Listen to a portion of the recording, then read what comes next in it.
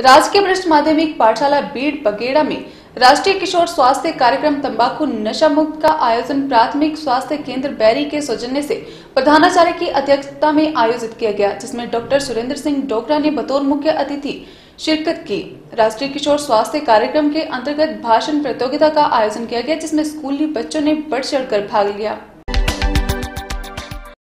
राजकीय वरिष्ठ माध्यमिक पाठशाला बीड़ बघेड़ा में राष्ट्रीय किशोर स्वास्थ्य कार्यक्रम तम्बाकू नशा मुक्त का आयोजन प्राथमिक स्वास्थ्य केंद्र बैरी के सौजन्य से प्रधानाचार्य की अध्यक्षता में आयोजित किया गया, जिसमें डॉक्टर सुरेंद्र सिंह डोगरा ने बतौर मुख्य अतिथि के रूप में शिरकत की। राष्ट्रीय किशोर स्वास्थ्य कार्यक्रम के अंतर्गत भाषण प्रतियोगिता का आयोजन किया गया, जिसमें स्कूली बच्चों ने बढ़ चढ़कर हिस्सा लिया।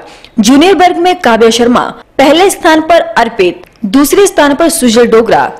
सीनियर वर्ग में पहले स्थान पर अक्षित, दूसरे स्थान पर पायल, नीलाक्षी तीसरे स्थान पर कार्यक्रम के मुख्य अतिथि सुरेंद्र सिंह डोगरा ने अपने संबोधन में समस्त बच्चों से अपील की कि किशोरावस्था में और तंबाकू के सेवन से होने वाले स्वास्थ्य संबंधित नुकसान और इसके दौरान बच्चों में हार्मोन्स की वजह से बहुत से बदलाव आते हैं। इस दौरान बच्चों को योगा और व्यायाम करके अपनी ऊर्जा को सकारात्मक ढंग से उपयोग करके अपने भविष्य को उज्जवल बनाएँ और संतुलित आहार का सेवन करें और स्वस्थ रहें ताकि समस्त बच्चे गंभीर रोगों से दूर रहें।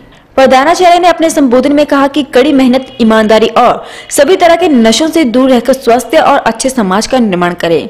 अपने संबोधन में बच्चों को प्रेरित करते हुए कहा कि स्वस्थ लोग ही स्वस्थ समाज का निर्माण कर सकते हैं। इसलिए हम सभी को नित्य व्यायाम और योगा पर केंद्रित होकर अपने आप को शारीरिक और मानसिक तौर पर फिट रखना चाहिए। इस मौके पर मुख्य अतिथि डॉक्टर सुरेंद्र सिंह डोगरा ने समस्त बच्चों को रिफ्रेशमेंट देने के साथ साथ प्रथम, द्वितीय और तृतीय स्थान पर आने वाले बच्चों को प्रोत्साहित करते हुए मोमेंटो वितरित किए। इस कार्यक्रम के दौरान Madan Lal supervisor Jeevan Lata female health supervisor Vidya Mehra female health supervisor और त्रिलोक चंद मौजूद रहे।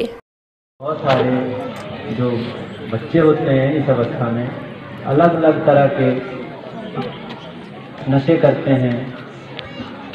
अलग अलग तरह से गलत मार्ग पे चलते हैं।